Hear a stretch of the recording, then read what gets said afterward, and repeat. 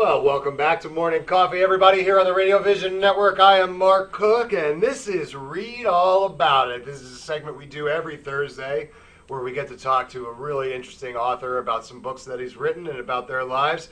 Uh, Benita Lee is not with us this morning, but sitting in for her is Mr. Keith Reynolds. Good morning, Keith. How are you today? Good, Mark. How's it going, man? It's going all right. We had a pretty good show. The boss was in. I don't know if you saw that. Breakfast with the Boss, Yes, Scott I've Tanker. Scott Tanker. Always great. So Absolutely. I'm excited about uh, who we're about to talk to this morning because he's not just an author. He's uh, he's an historian. He is an expert on a lot of different things, and most specifically the Civil War. And it, it's just my honor and pleasure to bring him onto the show right now. His name is Allen Mesch. Good morning, Allen, and welcome. Good morning, Mark. Hi, Keith. Good Morning, Alan. Well, thank you very much for inviting me to talk with you about one of my favorite subjects, the American Civil War. Yeah, well, it's really uh, it's it's our pleasure actually for, for you to be here, and uh, you you've traveled a long way to be with us today, and uh, and we appreciate that. Let's talk a little bit about you personally first. You hail from Plano, Texas. Plano, Texas uh, is a northern suburb of Dallas, and I should say that very Quietly, yes, you know you're in the Philadelphia area. I'm in Philadelphia Eagle and uh, somewhat New, New York Giant territory, right. so I'm going to be very respectful. uh, and um, we've been there, oh my gosh, uh, over 30 years in that area, raised uh, two, uh, two kids and uh, helping to raise uh, six grandchildren. wow, Nice, wonderful! nice. Yeah, Congratulations. thank you. And my wife and I just this last year celebrated our 50th anniversary. All right, So, congratulations. Thank you That's very excellent. Much. We're, we had a, we've had quite a nice life together. Um, where do I come from? Well, I actually hail uh, from Buffalo, New York. So I'm a Yankee, uh, transported down to uh, oil and gas country. And uh, I found myself there first working uh, for Gulf Oil in Pittsburgh and then going to where all the action is, uh, Houston and then, uh, and then Dallas. And um, my career has really been a mix of both working in, if you will, the real world and then also working uh, in uh, academic positions. And I was figuring it out uh, on the way this morning that I've probably taught nearly 40 years in one place or another as Wow. an adjunct professor while holding down uh, a full-time job in the uh, oil and gas industry. So Wow, it's been Wow. it's been uh, kind of an amazing journey. It's quite impressive. Thank you, thank you. And uh, that's one of the things that kind of got me interested in this particular book, uh, uh, Teacher of Civil War Generals. But uh, the, my story really begins uh, a little bit earlier when I started finding out about these Civil War battlefields that were under threat. And I became uh, rather concerned about that and said to my wife, hey, you know, if we're going to go see these and be able to visit and enjoy and learn more about them, we need to do it now. And so I started, uh, we started our journey at uh, Harrisburg at the uh, Civil War, National Civil War Museum there, which is an excellent museum, and I recommend if you can start your Civil War journey there.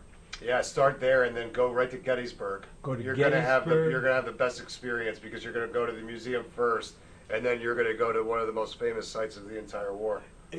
Absolutely, absolutely. And, uh, you know, Gettysburg is kind of like jumping into a deep, deep part of the pool. Yeah. It's a, it's a complex battlefield. Uh, I generally recommend people start at something a little more sim- simplistic, uh, a little more manageable Right. to be able to see. But going there, uh, as far as the first site, is good because you know what? You can always come back. I've been to Gettysburg, I think three times now. And each time I've seen some different things and enjoyed uh, learning about some aspect of the battlefield that I was not aware of. So I think that just because you've gone to a place once doesn't mean you can't come back. Right. There's always still more to learn, definitely. Absolutely, and the new parts of, the, of battlefields are being uh, taken over by organizations like the Civil War Trust, which does a remarkable job at reclaiming uh, commercial sites and t- turning them into uh, places where you can visit.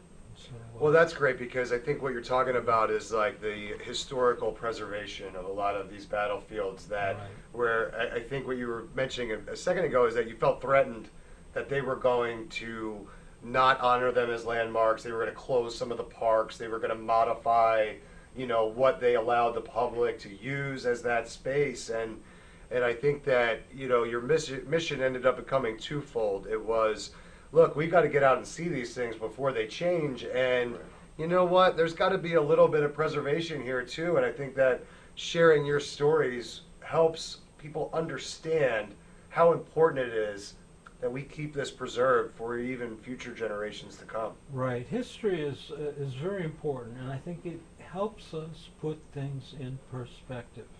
You know, we've gone through a civil war, and have come out on the other side of that in pretty good shape.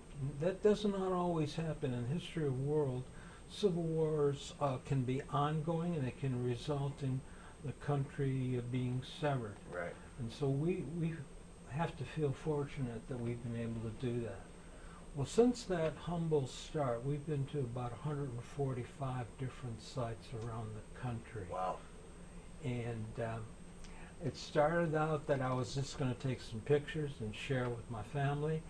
And it turned into a website that uh, have those pictures that are free to use and encourage people to use, whether they be school children doing projects or uh, other speakers needing a picture for one of their presentations. Well, that's great. We live on the internet here. I, I'd love to give everybody that website if you don't oh, mind. sure, sure. It's uh, civilwarjourneys.org, and there's a dash between Civil War and Journeys. Okay, so it's civil dash war dash journeys.org. It's a dot org. Okay, cool. And so, yeah, Awesome. please go and visit that.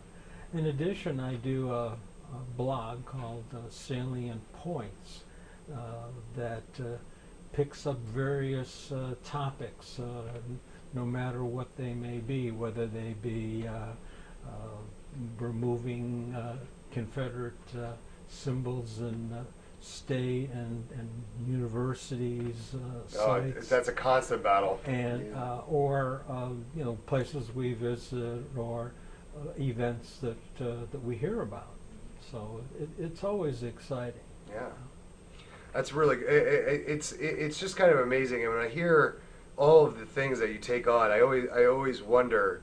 Like, do you sleep? Do you have time to sleep? I mean, now you're traveling the country, you're talking about your books, and you've got all this stuff going on. Sleep later, right? We'll worry about that later. I- y- you know, I part of my effort in writing these books was to illustrate to people. Uh, it's maybe an ad for the AARP that just because you're 55 and can be a member doesn't mean you you don't have a lot of value to contribute. That's right. And uh, you know, people say, "Well, do you do all these things to keep your mind active?" And I say, "My mind is quite active. Thank you very much. Yeah. I spend uh, probably uh, some days as many as ten hours a day doing research and writing and and, and studying."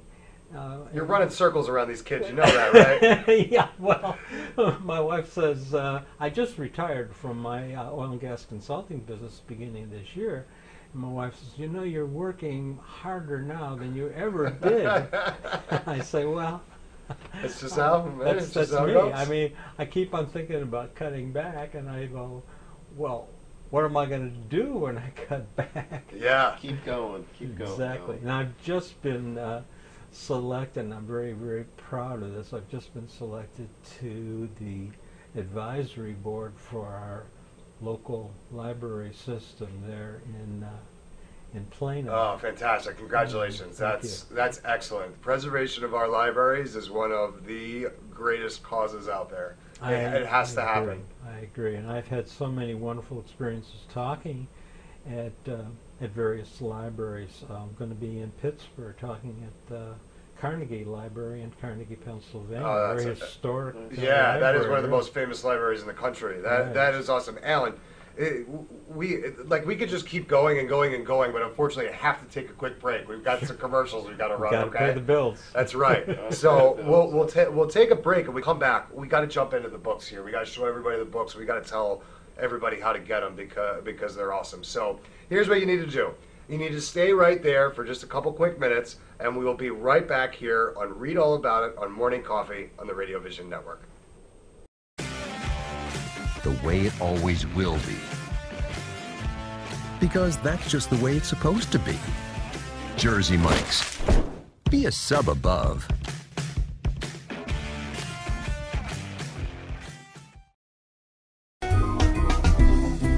Simply Gents, located in Marlton, New Jersey, takes care of all your grooming needs, including haircuts, straight razor shaves, massages, facials, manicures, pedicures, and waxing. To find more information or book an appointment, visit us online at www.simplygents.com. The secret weapon of a well groomed man, Simply Gents. If you haven't been to Speed Raceway, what are you waiting for? You want to live fast? You want to make every second count? Then grab the family. Round up the guys. Speed Raceway is 100,000 square feet of excitement, whether you're a kid or a kid at heart. Speed Raceway is the place for endless fun all summer long. Log on to speedraceway.com or just get here now. When it's time for Jersey Mike's to make a really great sub, this is what we do. It's what we've been doing. It's what we've always done. It's what we'll always do. So what are you doing? Jersey Mike's. Be a sub above.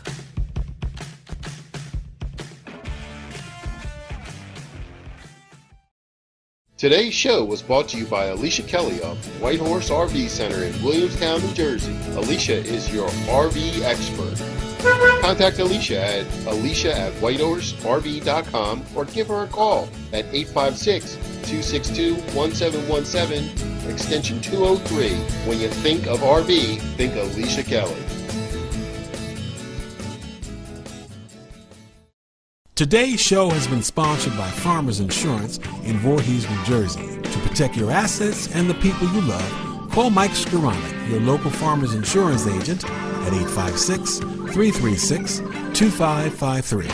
we are farmers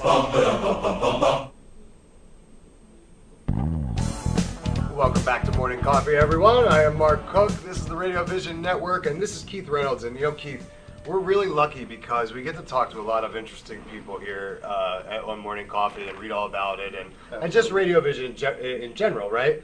But I feel really lucky that we have Allen Mesch with us here today because he is just the stories that I'm hearing and.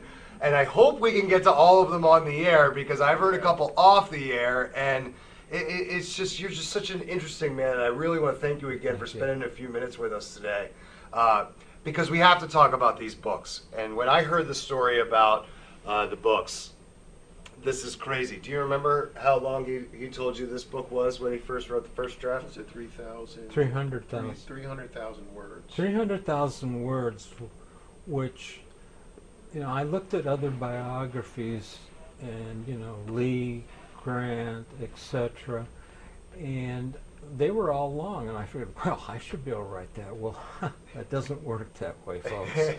uh, the, the magic number is 100,000 or less, and I was very fortunate in finding an absolutely terrific publisher, a McFarland Company, and they are terrific. I would encourage any would-be author to go to their webpage and look at the variety of titles, and they're absolutely fantastic people to work with.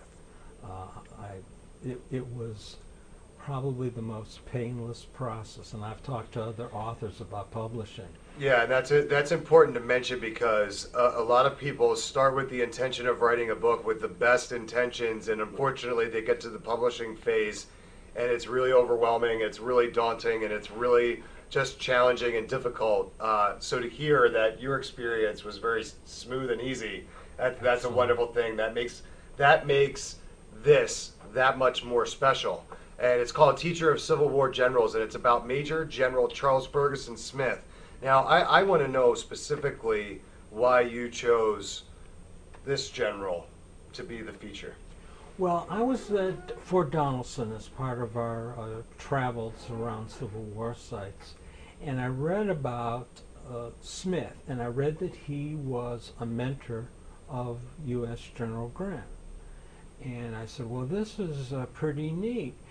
Not only was he a teacher, because he was commandant of cadets at West Point, so he was one of the most important figures in training of junior officers in the Army, and he also had a profound influence in the way he carried himself and uh, his various deport- deportment.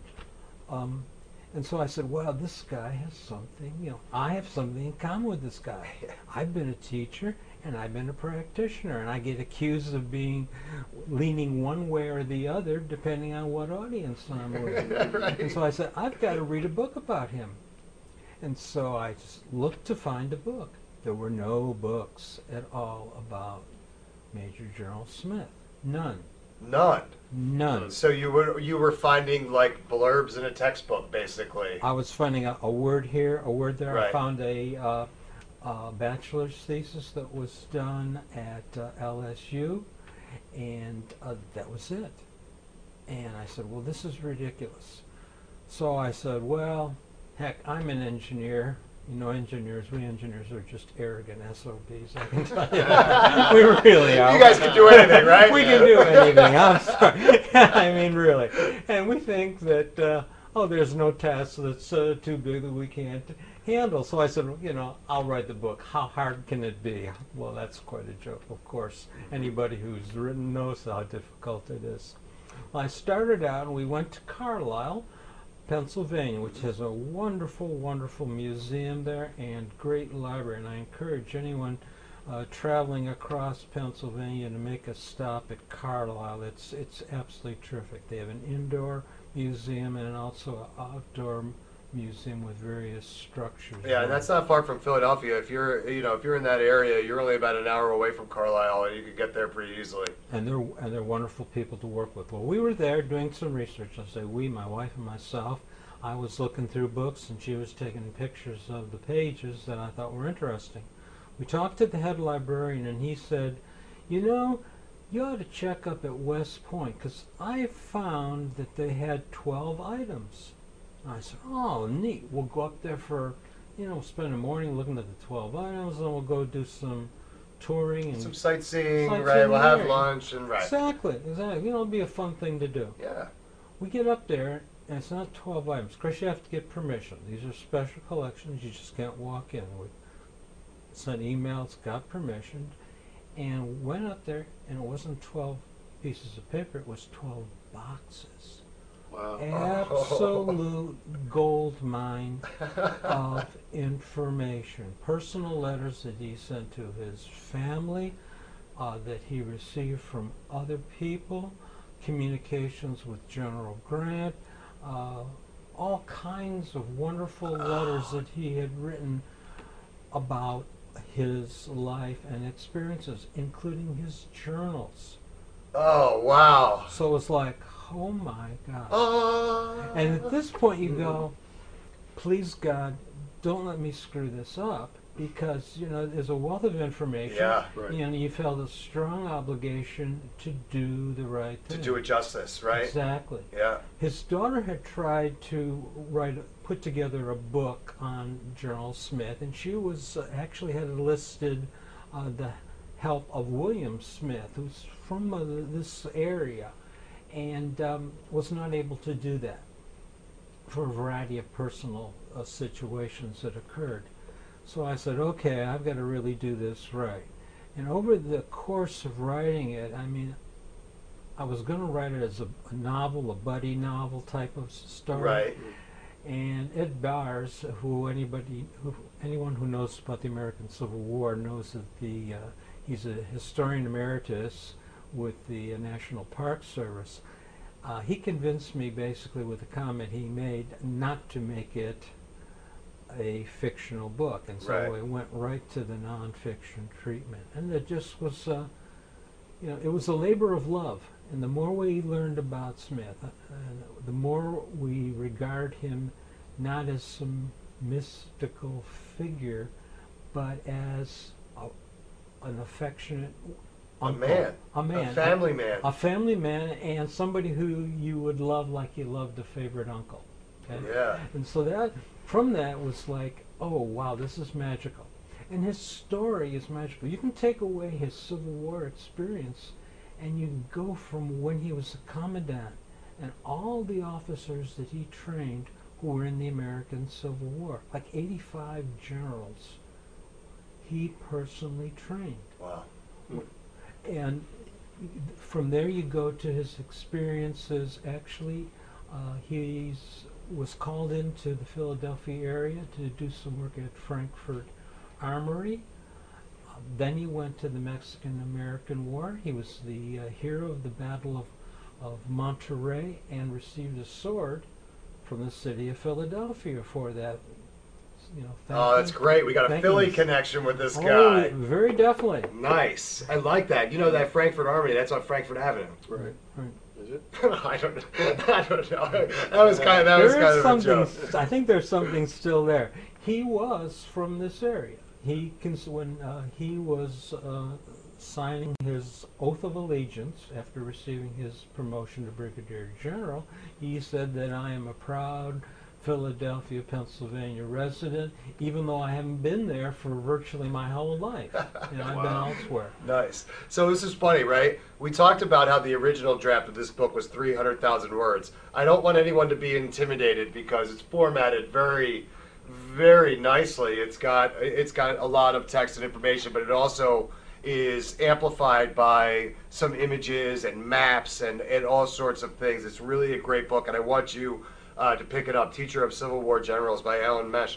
And, and but talking about the draft of the 300,000 words, that might have something to do with this, which I want to tell you guys about coming up. We're going to take another break real quick. Okay. We'll hang through it, and then we will be right back here on Read All About It on the Radio Vision Network. Stay right there. Today's show is sponsored by Hardgrove Demolition, your demolition experts. Hardgrove is a family owned and operated business right here in the southern New Jersey area, bringing you 45 years of demolition expertise. Hardgrove has all your demolition needs, from emergency demolition service to demolition equipment rental. Hardgrove is one of the state approved recycling facilities right here in the southern New Jersey area. No job is too big or too small for Hardgrove Demolition. Contact them today at one of their three locations. When it's time for Jersey Mike's to give a sub some sizzle, this is the way.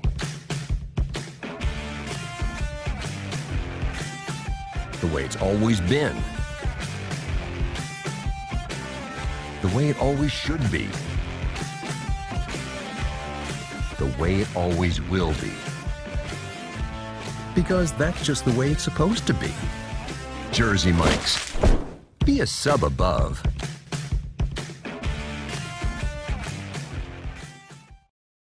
If you haven't been to Speed Raceway, what are you waiting for? You want to live fast? You want to make every second count? Then grab the family. Round up the guys. Speed Raceway is 100,000 square feet of excitement, whether you're a kid or a kid at heart. Speed Raceway is the place for endless fun all summer long. Log on to speedraceway.com or just get here now. When we make Beyond Natural Dry Dog and Cat Foods, we start with real meat as the first ingredient. We leave out corn, wheat, and soy. And we own where our dry food is made. 100%. Can other brands say all that? For nutrition you can trust and your pet will enjoy. Does your food go beyond? Learn more at purinabeyond.com. Extra Innings is the nation's premier indoor baseball and softball training center, featuring indoor batting cages, seven multi-use tunnels, and training rooms. Extra Innings can provide professional instruction, private and group lessons, and the best year-round clinics. Along with a nationally recognized pro shop that features the latest and widest selection of equipment and apparel, our experienced staff can provide you with the right instruction and help you find the best equipment for your ability and budget. Extra Innings, where the game never ends. Today's show has been sponsored by More Than Gifts. Come see our new location in Marlton, New Jersey. Not just gifts, but more.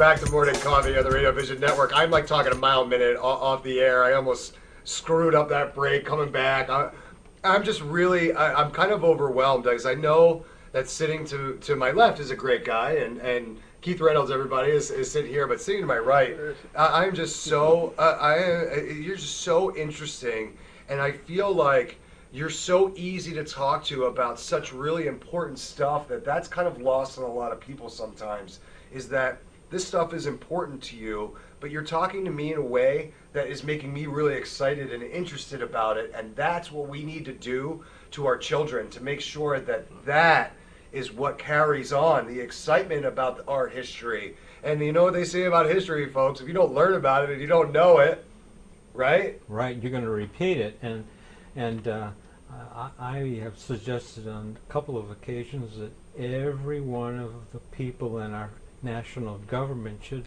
be forced to take a couple weeks of American history to remind themselves Totally of agree. where we came totally from. agree Uh, that's the it's the least they could do Absolutely. And you know what? I think it's the biggest problem facing us in today's world is we don't know our history.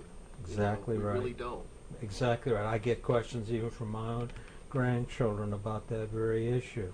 Um, you know, I think that if you can bring history to life, and I was uh, at uh, the GAR Museum, the Grand Army of the Republic Museum in Philadelphia uh, last Sunday, and a gentleman came up and he said, You know, I've attended some of these meetings. I wasn't really very interested in the Civil War, but after hearing your talk, I really got interested and excited about it.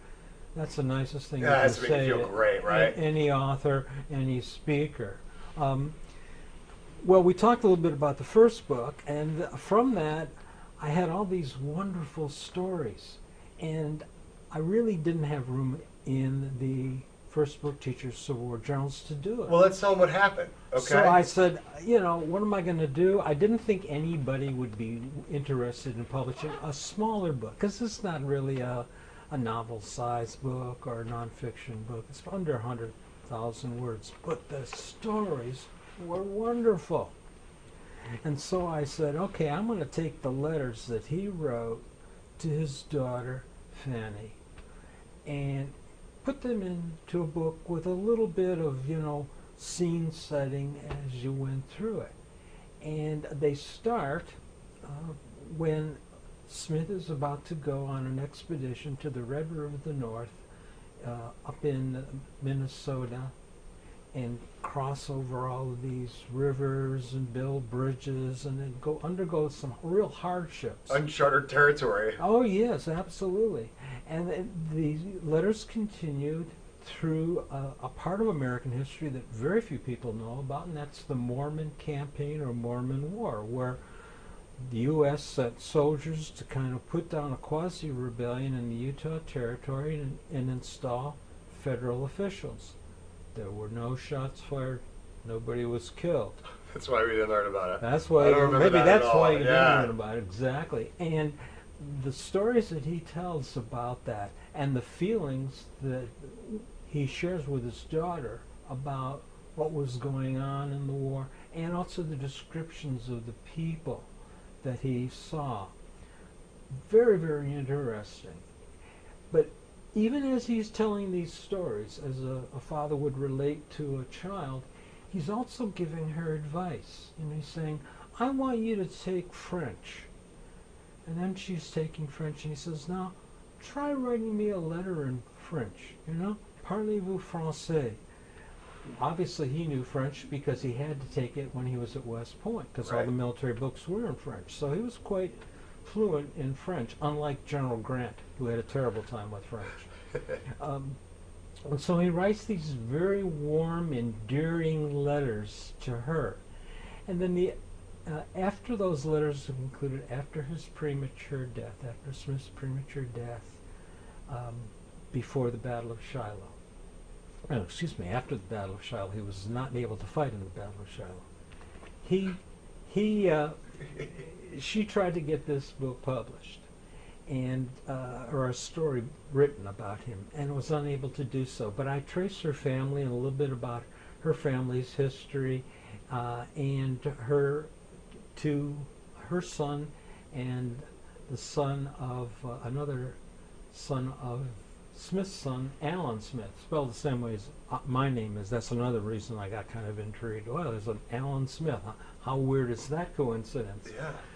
And it was really fascinating. Uh, Allen Smith had a son, Charles Ferguson Smith, the second, if you will. He went to West Point, finished last in his class, and received a dishonorable discharge from the Army. Oh. Now, Fanny's son uh, was Leslie Oliver. Fanny was married to, of all things, a professor at the U.S. Naval Academy. Hmm. Oh, okay. Yeah, it sounds like today say, "Oh, come on, that can't work." Well, Right. Not not in those times. They were all friends, okay. and there were, uh, Smith had a lot of in-laws who were in the U.S. Navy. Well, he became an architect and a very very successful at that. Uh, was in New York, designed several of the buildings there.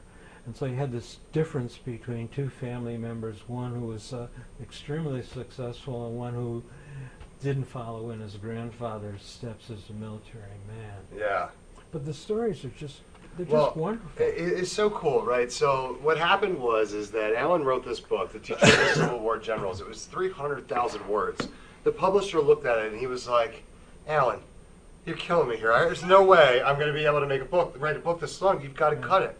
And what happened was is as you're cutting, you, you realize that there was a common theme for what you had to kind of take out of this story and what you had was this. This I, I like to look at this as a combination of a little bit of historical text, but really it's just it, it, it's a reproduction of a lot of the, the actual letters that were that were Right. written, right? Right. And and he named it Your Affectionate Father, Charles F. Smith, because that's how he signed every letters, every letter to her. They were very formal, right? They were they, it was much different, but the message is very clear. This guy, this this very high level major general, right, was a father first. He adored his daughter, right? So this message translates to a lot of you guys out there. It translates to Keith, who's got some daughters. It translates to you, right? Exactly. Who's, who's a who's a father himself, now a grandfather. And I and I think that even if you're remotely interested in the Civil War, you should get this book because you're going to understand more about the family values and the bonds that were existing hundreds of years ago that have paved the way for your relationship with your daughter. So go to Amazon right now and buy this book. How was that? That was pretty good. Now, if you, if you like, uh, I dedicated the book to my daughter in keeping with your theme, and I wrote in a dedication letter to her, and of course I signed it, Your affectionate father, Allen H. Mesch. Yeah, it just it's so it's so nice because I like when there is personability. Is that is that a word? Personability and not personality. That's different when you're talking about historical text. I feel like if it's not a word, personability just gives the human aspect to this very a lot of people consider a very heavy subject, very tough tough subject to really sink your teeth into. But this gives me the human side the, the, the real side, right? I, I know that personability is not a word. I, I tried to make it up. I'm gonna talk to I'm gonna talk to Webster's next year to see if I can get it in. There's nothing worse when you're talking to a very s- smart, intellectual individual and you're saying things that don't make any sense and you're making up words. You really feel like a dumb guy. If the bow tie didn't do it, that that just did it. Believe me. But but it's but you, but I think you understand what I'm trying to say. Sure, absolutely. The more you can bring history to life, the more people can embrace it and see. And these letters are just, you know, they're so dear to us. Uh, and I would, uh, when I would find one, I would s- go and grab my wife and say, "Hey, you've got to listen this. this, yeah. Oh my God, look at this! Listen to the description and listen to the tenderness and what he says to her about things." Um, and the, it's so it's this constant here's my story, here's what dad is doing at the office, if you will, and then I haven't forgotten about you. It's not just about me, it's what are you doing? How are things going in school? How are things with your brother and sister? So he's asking her about this and including them, uh, including her in his family. Smith is an incredible man. He's not the typical general.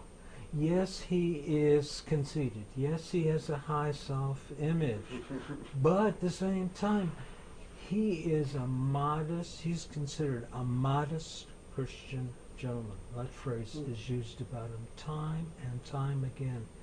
And if you read some of his reports, a lot of these military reports are, I did this, I did that, I did that. That's not Smith. He finds ways to give credit to other people. He opens up his description, his pencil description of the Battle of Fort Donelson, with the first paragraph talking about units that were assigned to him in his command but fought in other parts of the battlefield. So he had really no first-hand knowledge about them, but he says he's heard they do good work, and he encouraged the reader to go and look at other officers' reports to get a fuller picture. What kind of a guy gives credit to other, other people, especially in a competitive military? Well, I mean, this is what kind of lends to, to, to my question. Is it because Grant was louder? Is that why he rose to the power that that he did? That this Charles Smith may have actually been the one that should have been leading the Union Army, but because of the way Grant was, maybe he was a bigger personality, maybe he was louder about wanting to lead. Is there any is there any validity to that? Well, I'll tell you, uh, William Sherman thought that was absolutely right, as well as Grant. Me and William Sherman. You and Bill Sherman. Uh, Grant was really when they got together again at Paducah and Cairo, and Grant was like, "Oh my gosh, here I am. I'm superior to this guy, my teacher, the guy who I looked up to. I looked up to two people, Winfield Scott and C.F. Smith.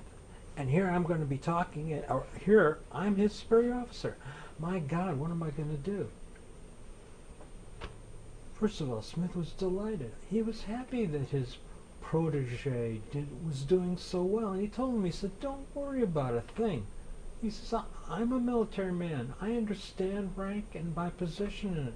We're going to be just fine. And they were. And he continued to mentor him. Uh, even on his deathbed. That was the humility from his side, right? If he's a different personality, it does not end harmoniously. No. There's no way it does. It doesn't. It doesn't. Even his relationship with Lew Wallace, and if you read historical accounts, Wallace was not real happy serving under him from time to time because he thought he was a little timid and he wanted to do some things and then Wallace got all mad because he got left at Fort Henry and didn't get to move to Dawson but he got to Dawson with his own division and two days later. So it turned out okay and those weren't Smith's orders they were Grant's orders. Now after when Wallace was writing about Smith he says I love the man as much as I venerated him. You don't see men at that time talking about loving each other Right. without some real substance to it. Right. Uh, his uh, former soldiers in the 10th Infantry uh, regiment called him Uncle Charlie. There's a lot of love, a lot of respect, and he was a strict, strict disciplinarian. That's really Hmm. cool. That's, That's really cool. So the book, both the books, are available on Amazon. Uh, I hope you'll uh, take an opportunity to go and, and read about them, and you can also check out a little bit more about my biography and my background and all the places I've been and experiences I've had. Yeah, give me that website one more time. Do I want to learn about you? Learn about you. Uh, my website, my personal website is uh, allenmesch.com, and I talk about my books and uh, what's going on in terms of future writing endeavors. it, I urge everybody out there. The easiest way to do to get both of these books is just just go to Amazon. But if you Google Allen's name or go to allenmesch.com, you're going to learn all about him too. And I I urge you to do that because I just got a short time to learn and, and meet him, and I think that that is fascinating and amazing. I think you're doing great work, and I, I want you. you uh, I want you to keep it up. And I don't want you to slow down. I don't want you to stop. I know your wife is probably going to be like, look. You better tell you better tell him to chill out. You better tell him to relax a little bit. But I, I think that what you're doing is just amazing stuff, and I hope that everybody out there uh, that is interested picks up the books, reads, gets in touch with you, tells you how great they are, and, and, and all of that. I really appreciate you spending a few minutes with us this morning. Thank you. Thank You're you. quite welcome. Thanks, Thanks. So that's going to do it for morning coffee this morning. We had a great one. We really appreciate everybody uh, watching, and and uh, we're going to keep doing it for you. So we, we hope everybody sticks around and and watches us. Make sure that you, uh, if you're catching us live now, you look down there at the bottom and you catch us on the archive for the next 30 days, and and share them with your friends and. And, and tell everybody about what we're doing here because we're really happy about it and we're glad to bring you this stuff every single day. So that's going to do it for me. Keith, did I hit everything? We hit everything. Home run. Awesome. As always. That's great. Enjoy the rest of this beautiful day, everybody, and we will see you tomorrow. Have a great one.